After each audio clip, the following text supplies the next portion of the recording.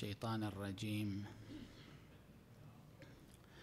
بسم الله الرحمن الرحيم. الحمد لله رب العالمين. وصلى الله على سيدنا محمد وآله الطاهرين.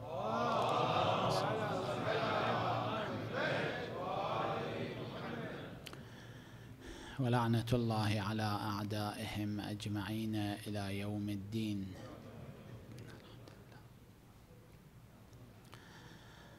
قال الله الحكيم في محكم كتابه الكريم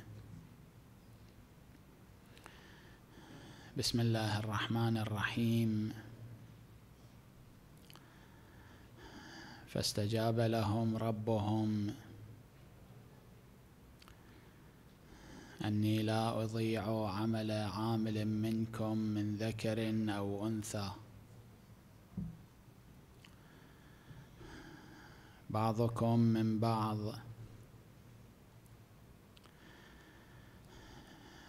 فالذين هاجروا وأخرجوا من ديارهم وأوذوا في سبيلي وقاتلوا وقتلوا. لأكفرن عنهم سيئاتهم ولأدخلنهم جنات تجري من تحتها الأنهار ثوابا من عند الله. والله عنده حسن الثواب. صدق الله العلي العظيم.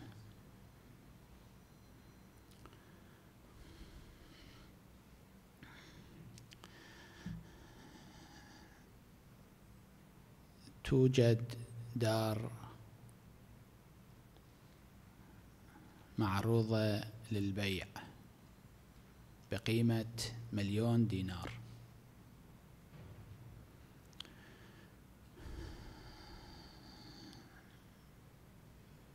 من يشتريها؟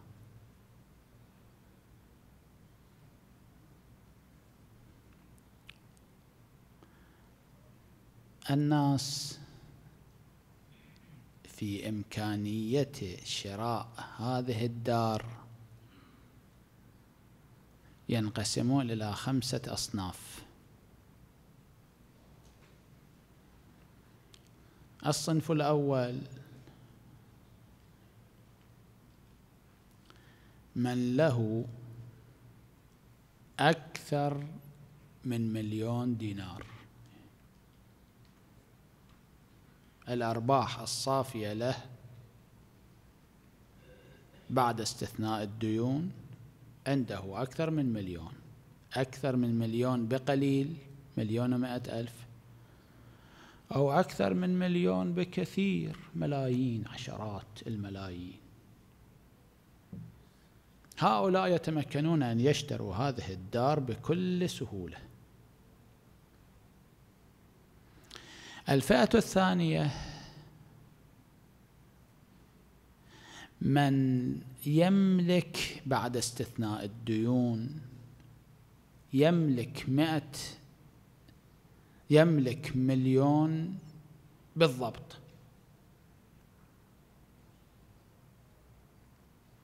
هؤلاء أيضا يتمكنون أن يشتروا هذه الدار. ولكن من دون وجود فائض لهم يساعدون به غيرهم. الفئة الأولى تتمكن أن تشتري وتساعد. الفئة الثانية فقط تتمكن أن تشتري هذه الدار لا تتمكن أن تساعد أحدا. الفئة الثالثة الذين عندهم أقل من مليون. أقل من مليون بقليل عنده 950 ألف أو أقل من مليون بكثير. كل ما يملك بعد استثناء الديون ألف دينار. هؤلاء لا يتمكنون أن يشتروا هذه الدار.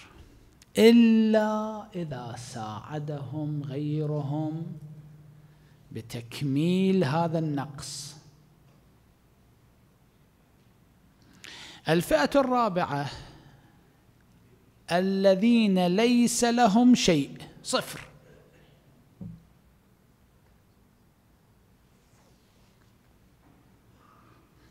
الفئة الخامسة أسوأ من الفئة الرابعة. ليس لهم شيء وعليهم ديون. يعني تحت الصفر.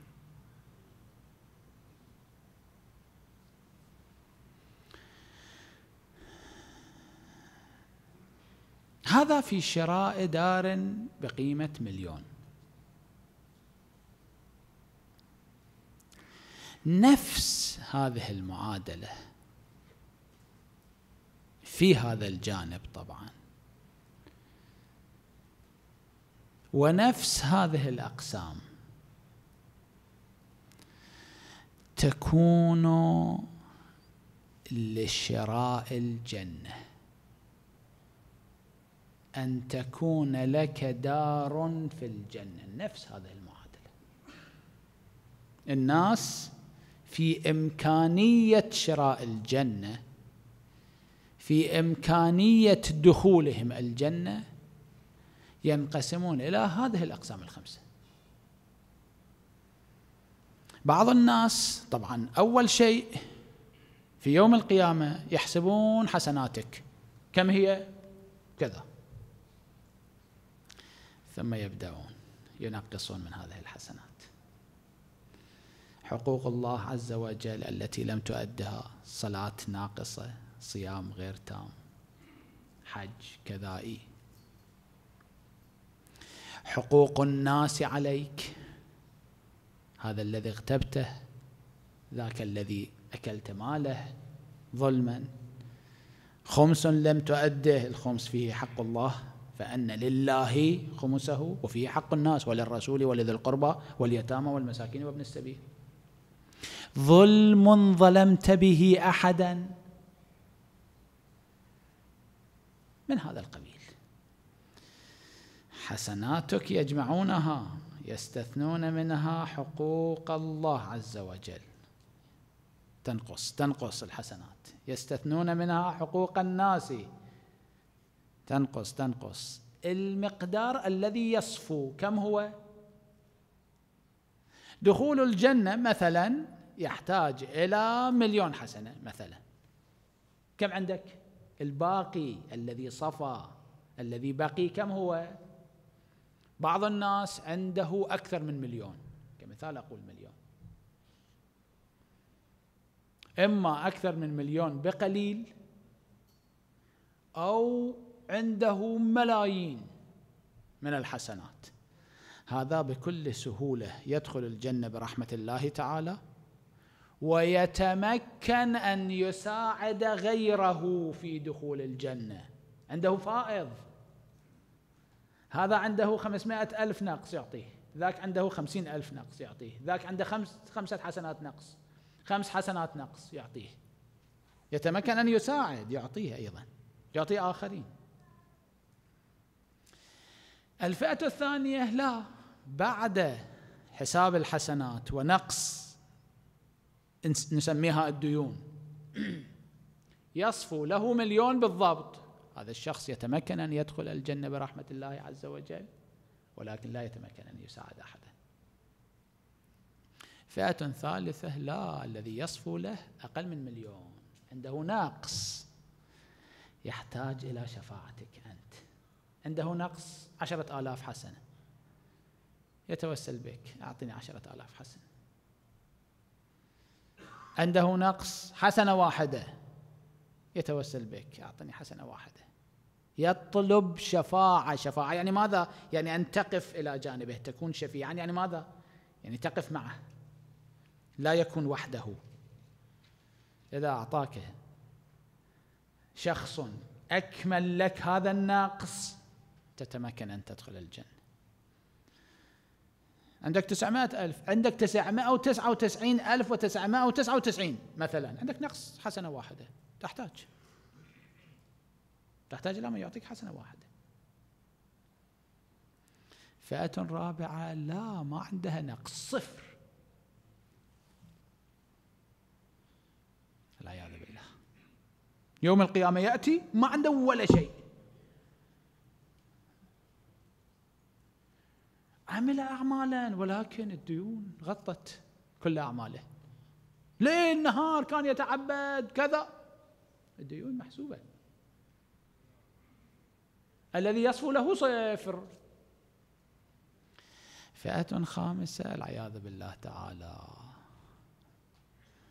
حتى ليس صفرا تحت الصفر. الديون غطت الحسنات نعم.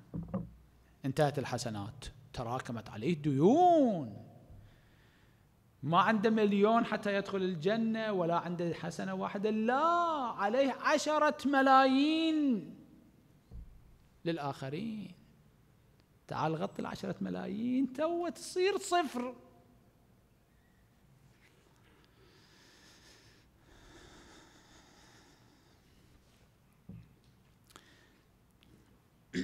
من هنا نعرف جانبا من جوانب الشفاعة. الشفاعة هنا. بعض الناس عنده فائض يتمكن أن يشفع بمقدار فائضه. عنده فائض قليل يتمكن أن يساعد شخصا واحدا خمسة أشخاص. عنده مليون إضافي هذا المليون يقسمه بين عشرة أشخاص من أحبابه.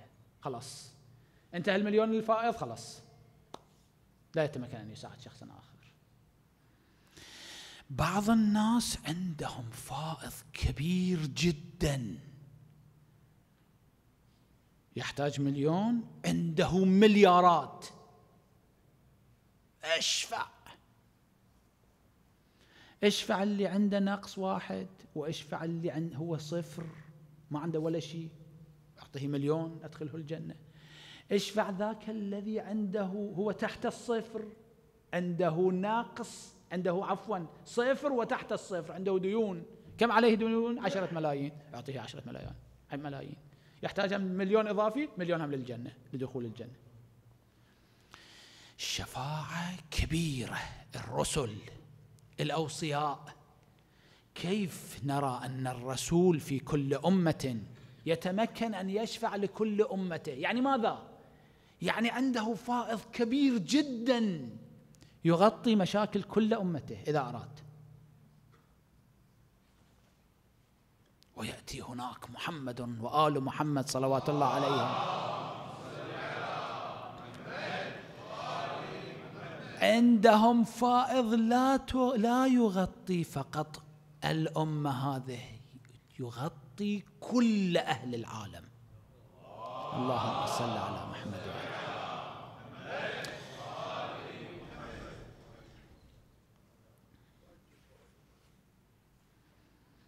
تغطي ليس فقط المليون لدخول الجنة تغطي الديون أيضا. شخص مئة مليون تحت الصفر. هذا يحتاج إلى مئة مليون حتى يخرج من جهنم حتى يعتق من النار. يعطونه. الآن يحتاج مليون مثلا إلى أن يدخل الجنة يعطونه. بإمكانهم حسب ما يرون.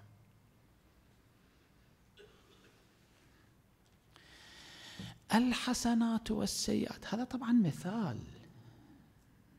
نذكر أعدادا ارقاما. هذا مثال. قضية الشفاعة أعمق بكثير بكثير من هذا الذي ذكرنا. هذا تقريب الصورة. عندك فائض تتمكن أن تشفع. عندك نقص والعياذ بالله تحتاج إلى شفاعة.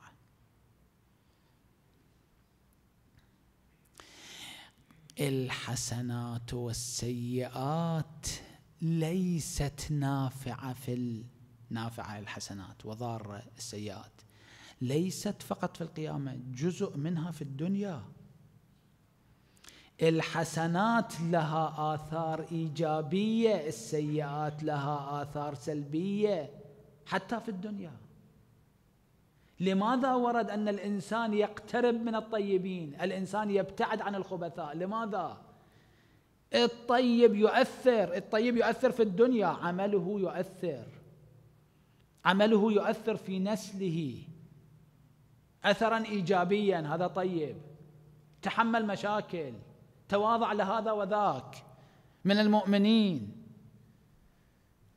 سمع كلمة من مؤمن ما رد عليها.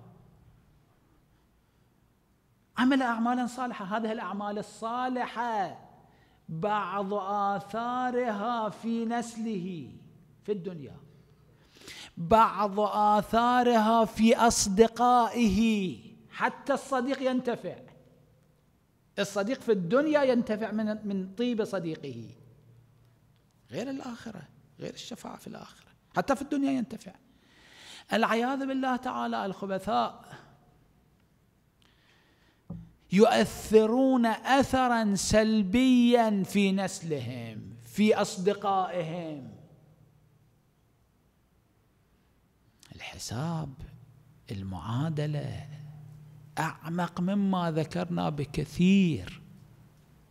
آثار دنيوية يقال أن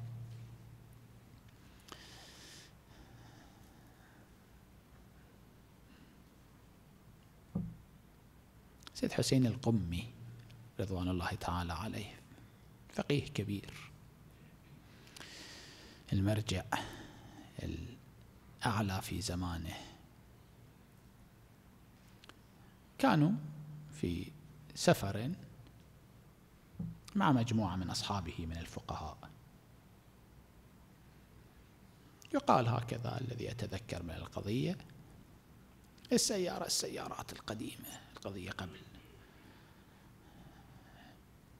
لعله ما يقارب من تسعين سنة. السيارة تعطلت في الطريق. الطرق الوعرة والسيارات التعبانة. تحتاج تصليح. هذا التصليح يطول ساعات. مجموعة فقهاء جلسوا. تناقشوا. استفادوا من وقتهم. ساعة ساعتين. نقاش علمي هذا يستفيد ويفيد ذاك يستفيد ويفيد. هذه من أعظم العبادات. ساعة ساعتين تعبوا بدأوا يتجولون في الصحراء في تلك المنطقة يكتشفون. إن شاء الله عمل حسن. أحدهم انزوى عنهم. بعد النقاش انتهى النقاش. الآن ونسة لا ما أريد ونسة انزوى عنهم زاوية انشغل بالعبادة. هذه العبادة الاجتماعية الاستفادة والإفادة. ثم انشغل بعبادة فردية صلاتون عبادتون قراءة قرآن. بعد ساعات السيارة جاوزت تعالوا تفضلوا. جاءوا. أصحاب ذلك الفقيه سألوا منه ماذا صنعت؟ قلت قال كنت حتى يتعلموا قال كنت شغلت ببعض العبادات ماذا صنعت؟ صليت بعض الصلوات قرأت ثمانية أجزاء من القرآن. استفدت من وقتي لحظات وقتي هذه ثمينة. يقولون سيد حسين القمي قال لأصحابه الفقهاء قال لو رأيتم أولاد هذا الفقيه ارتقوا أي رقي لا تستغربوا هذا من آثار أبيهم. الأب الطيب يؤثر في أولاده نعم. عنده رصيد فائض دنيوي. مثل الشخص الذي عنده رصيد مادي مالي إضافي يتمكن أن يخدم أولاده يتمكن أن يخدم أصدقائه. عنده فائض هذا عنده فائض فائض دنيوي آثار دنيوية للأعمال الصالحة. العياذ بالله تعالى الأعمال السيئة آثار دنيوية فيها. ابتعد عنه. صاحب الأعمال السيئة. الإنسان أجلكم الله الخبيث ابتعد عنه. يؤثر سلبا عليك. حتى على أصدقائه يؤثر سلبا.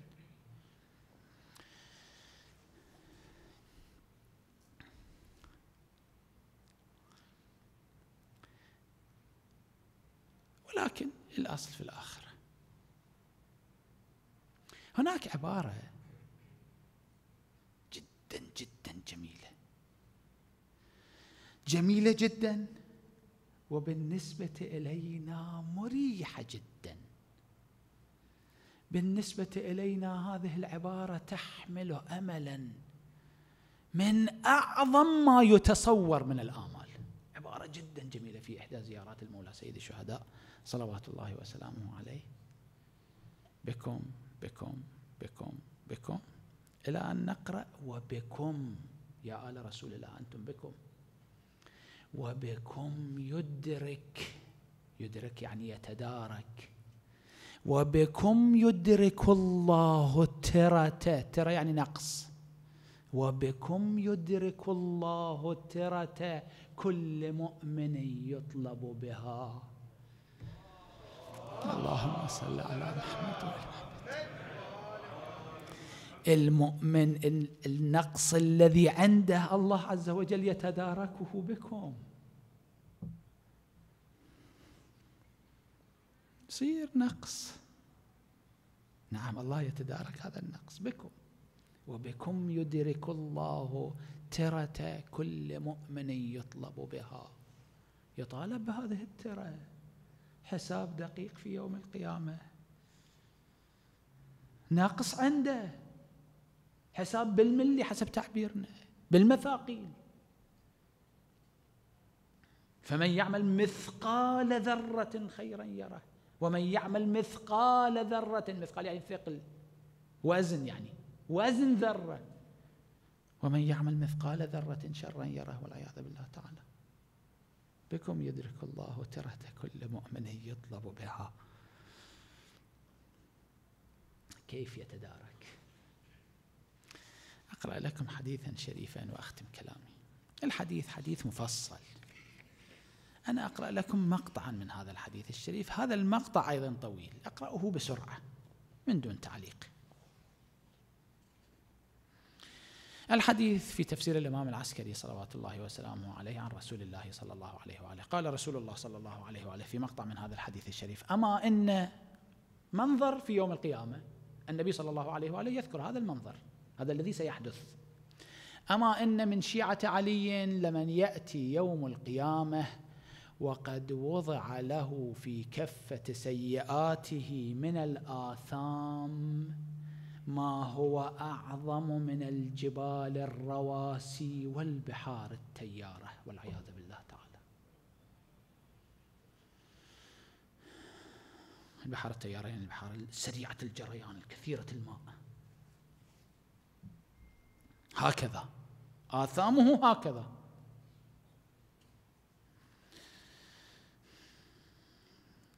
تقول الخلائق. مع هذا الوضع هذا وين مكانه؟ ذنب واحد لا يغفر يدخل الإنسان إلى نار جهنم. ذنب واحد. أصغر الذنوب. لا أقول ذنب كبير. أصغر الذنوب. واحد واحد. ذنب واحد من أصغر الذنوب. إذا لم يغفر يدخل الإنسان إلى نار جهنم. العياذ بالله تعالى. هذا عنده هذا الكم الهائل. حسب تعبير رسول الله صلى الله عليه وآله أصدق خلق الله رسول الله صلى الله عليه وآله يقول أعظم من الجبال الرواسي والبحار التيارة. تقول الخلائق هلك هذا العبد. خلاص منتهي هذا. فلا يشكون أنه من الهالكين وفي عذاب الله تعالى من الخالدين. لا يشك أحد في القيامة. فياتيه النداء من قبل الله عز وجل يا أيها العبد الخاطئ ألجاني هذه الذنوب الموبقات. ألجاني هذه الذنوب الموبقات. فهل بإزائها حسنات تكافئها. عندك حسنات تغطي هذه السيئات؟ نعطي. من حسناتك إليهم. إلى هؤلاء الديان. عندك. فتدخل جنة الله عز وجل برحمة الله أو تزيد عليها فتدخلها بوعد الله. يقول العبد لا أدري. طبعا هو يدري. ماذا يقول؟ عنده حسنات؟ يقول لا أدري. فيقول منادي ربنا عز وجل فإن ربي يقول لك أنت أنت العبد الخاطئ الجاني. فإن ربي يقول نادى في عرصات القيامة اطلب مساعدة. من يساعدني؟ نادى في عرصات القيامة ألا أني فلان ابن فلان من أهل بلد كذا وكذا. قد رهنت بسيئات كأمثال الجبال والبحار. ولا حسنات لي بإزائها. فأي أهل هذا المحشر كانت لي عنده يد؟ أنا خدمته. من من, من الناس قدمت له خدمة.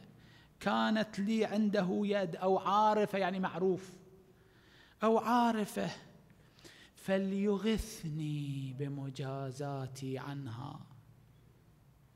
فهذا أوان شدة حاجتي إليها.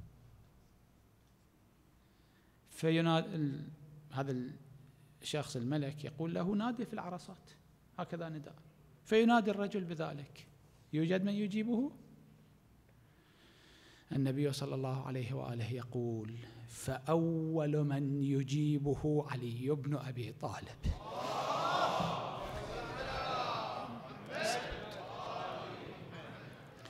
لبيك لبيك لبيك. إن الإمام هكذا يقول له. من بعيد يناديه.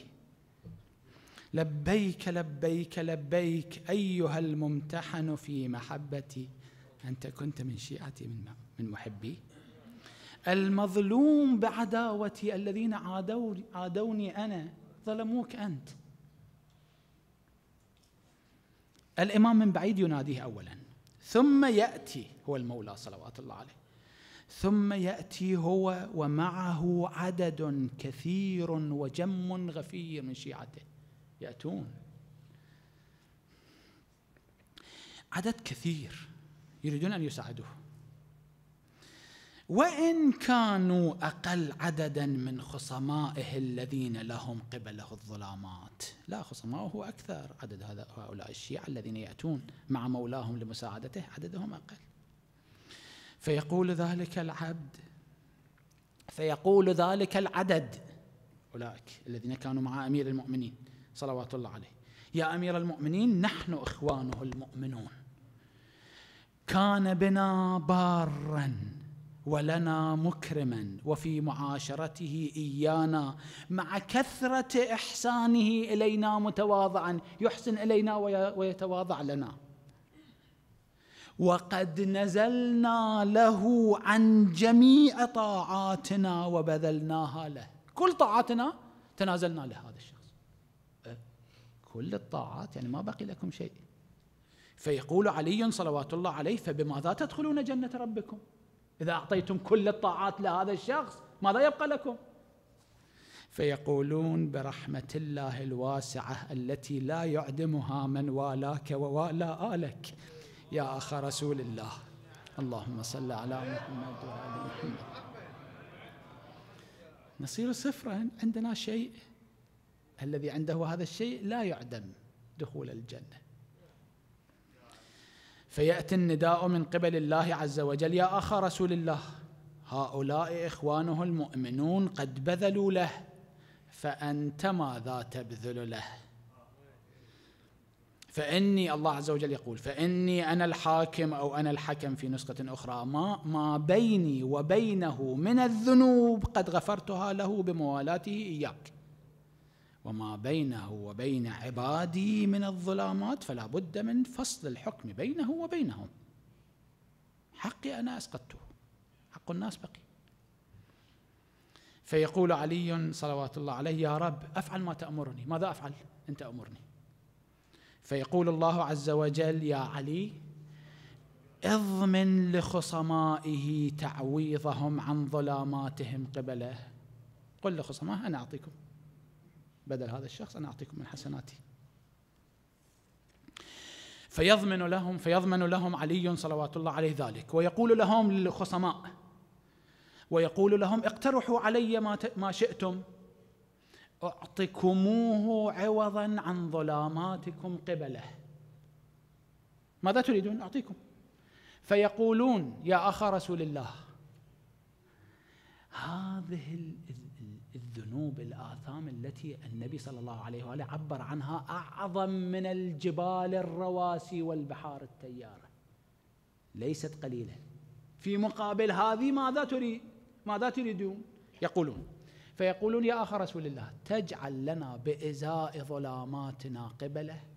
ماذا؟ ثواب نفس من أنفاسك ليلة بيتوتتك على فراش محمد رسول الله. اللهم صل على ثواب نفس واحد. فيقول علي صلوات الله عليه قد وهبت ذلك لكم. فيقول الله عز وجل فانظروا يا عبادي الآن إلى ما نلتموه من علي فداء لصاحبه من ظلاماتكم. أعطاهم ثواب نفس واحد من أنفاسه ليلة المبيت.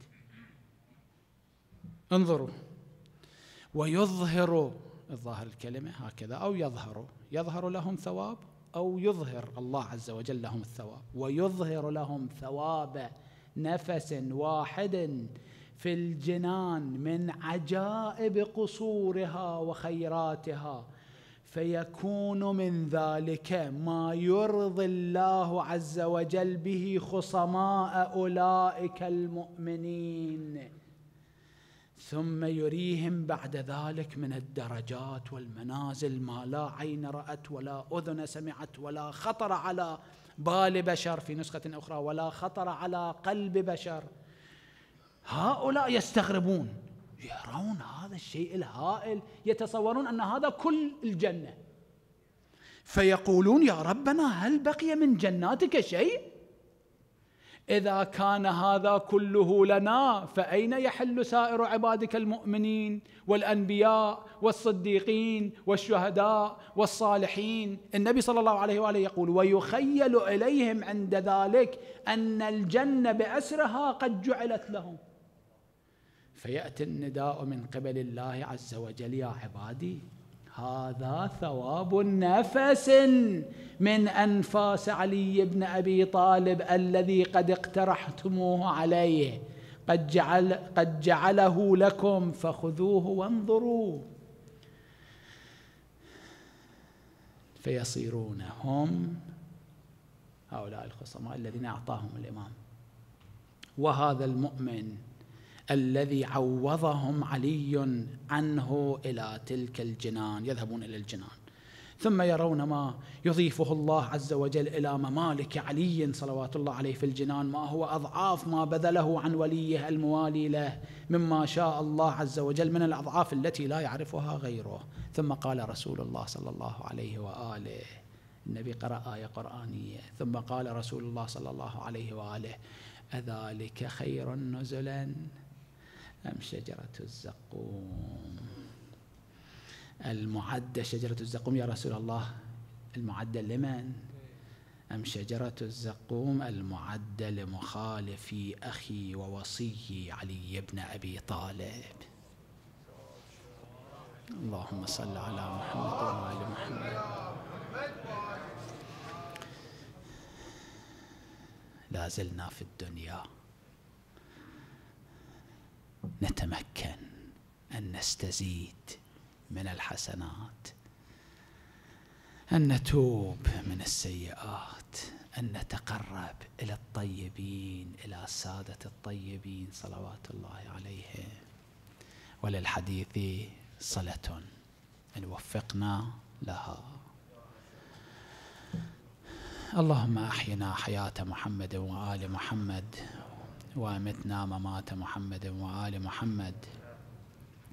ولا تفرق بيننا وبين محمد وآله طرفة عين أبدا. وارزقنا في الدنيا زيارتهم وفي الآخرة شفاعتهم. اللهم صل على محمد وآل محمد وعجل اللهم فرج مهدي آل محمد.